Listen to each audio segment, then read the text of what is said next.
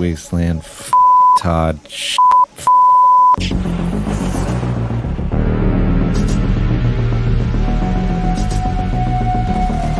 So last week, while I was making my Plasma Caster video, I noticed I was burning through fusion cores a lot faster than I normally do.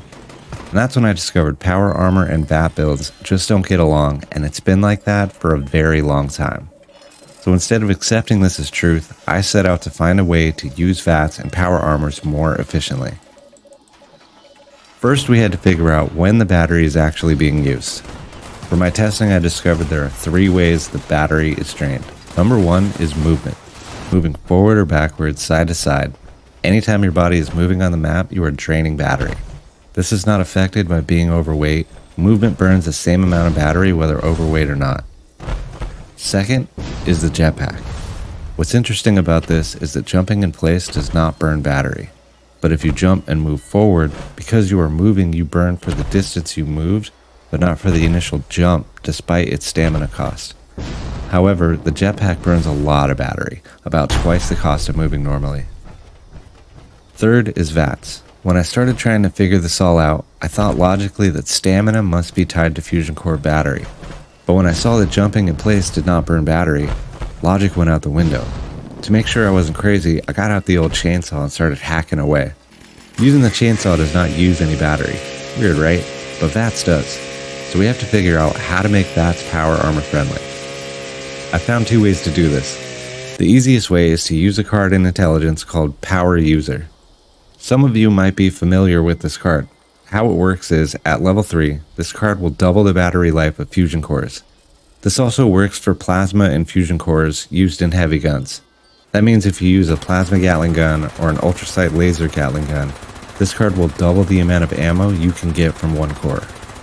But this also works for VATS, you might not know this, but when you VAT check an area for an enemy, it uses a small amount of battery. This is how I was able to test this card in VATs.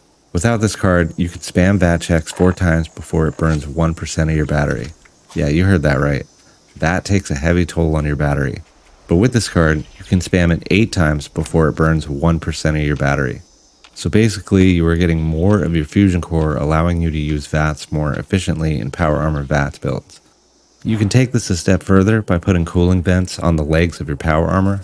This will give you 10% more efficiency out of your battery and it stacks without diminishing return. Using the power user card, I was able to spam 8 VAT checks before using 1% of the battery. With these mods on the legs, I was able to get an extra 2 VAT checks for a total of 10. The problem is, you're sacrificing a lot of carry weight potential for a few extra shots. But if weight isn't an issue, this is definitely worth exploring on a pure VATS build. I think if Bethesda could take a look at these mechanics, they could be improved so that they are much more rewarding to the player. It's definitely weird the way batteries get used. I don't think that VATS should cost battery, in my opinion, but if they have to, it would be nice to have a card or a mod that we could apply to, say, the arms that would lower the battery usage of VATS in power armors. Or just moving cooling vents from the legs to arms might be the best option and quickest fix. Maybe even raising them to 10% each for a total of 20%, I don't know. As for now, if you are using VATs in a power armor, I strongly suggest you use power user to get the most out of your batteries. Because nobody wants to sit around and do this for an hour.